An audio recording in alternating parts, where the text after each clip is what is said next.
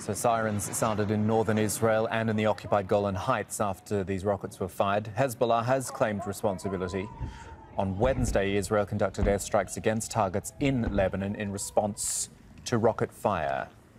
Zeina Khodr is on her way to the border area now on the phone for us. What more have you learned so far, Zeina?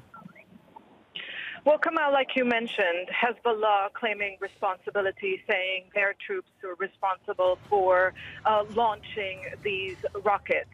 Now, in their statement, they mentioned that they targeted an open area around Israeli military outposts, which is really very telling because what they're trying to say, and this is what we understand from sources close to Hezbollah, is that this is a message to the Israelis. It is, first of all, in response to Israeli airstrikes early on Thursday. Israeli airstrikes targeted some areas in southern Lebanon in response to rocket fire from southern Lebanon targeted Israel on Wednesday.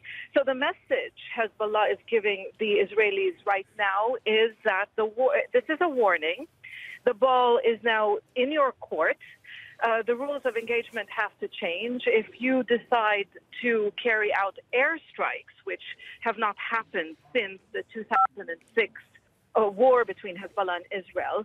In the past, when there has been cross-border fire, Israel responds with artillery shelling and not airstrikes. So Hezbollah is saying that the rules of engagement have now changed, and now the ball is in your court. Either there will be calm after this uh, incident, mm. or an escalation. So the situation is precarious.